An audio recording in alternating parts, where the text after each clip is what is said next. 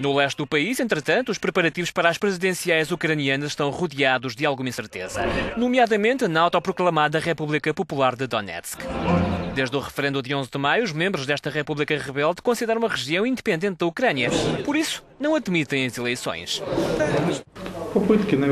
É claro que vão tentar que haja eleições, mas nós não estamos a planear nada disso.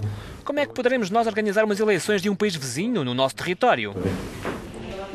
Na terça-feira, algumas sedes regionais da Comissão Eleitoral da Ucrânia foram mesmo atacadas. A vice-presidente da Comissão Eleitoral de Donetsk conta-nos o que se passou. Fomos recentemente ameaçados e atacados por parte de membros da autoproclamada República Popular de Donetsk. Estivemos sob ameaça de pessoas armadas. Tiraram-nos todos os nossos documentos.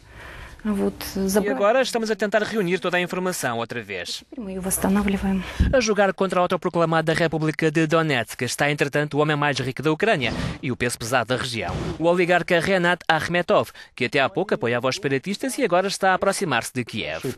Surgiu, entretanto, na internet um vídeo que mostra um grupo armado a mandar parar um autocarro do clube de futebol propriedade de Akhmetov, o Shakhtar Donetsk, mas que não terá sido mais que uma tentativa de pressão sobre o magnata.